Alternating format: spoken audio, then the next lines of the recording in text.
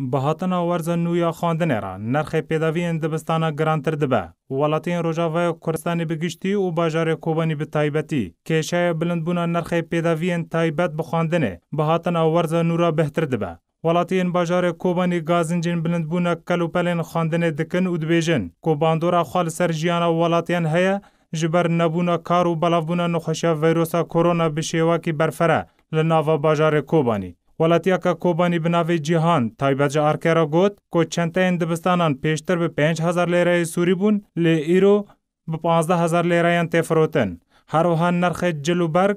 پیلاو قلم او دفترجی گران بونه او بلندبونه دلار امریکی له همبر لیره سوری باندورا که خو نرینی لسر جیان ولاتیا دکه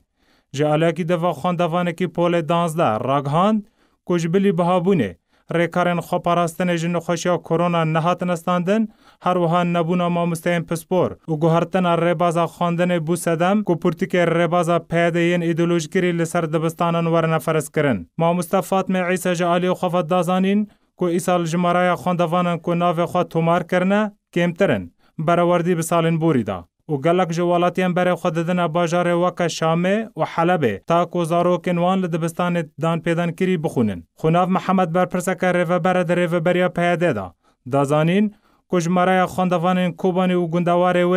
بهتری 53000 خواندوان تنها هاتنه تومار کرن